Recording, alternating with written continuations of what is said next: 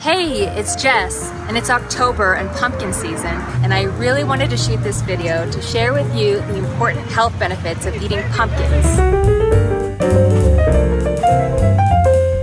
Stay tuned till the end of the video where I'm going to share three easy pumpkin recipes that you should be eating right now. Eating foods that are in season are not just trendy, they actually benefit your health because it's what's growing right now, it's what's in season, it's what's ripe, and it's nutrients that you wouldn't otherwise get. Let's get started.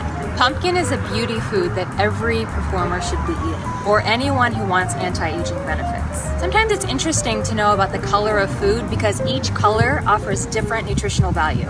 And for pumpkins, it's orange. The benefits of eating orange colored foods are beta carotene, which is really great for anti-aging, cancer prevention, and for your skin. Also vitamin C, which is good for your immunity, your skin, and your heart.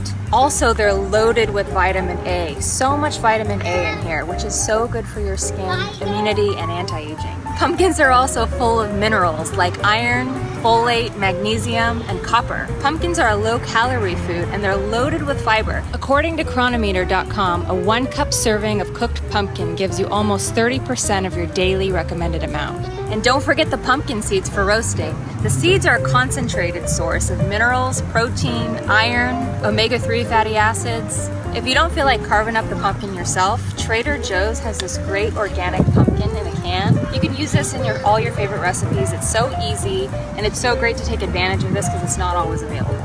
Another favorite thing that I have is pumpkin pie spice. This has everything in it to create that fall spice in your kitchen.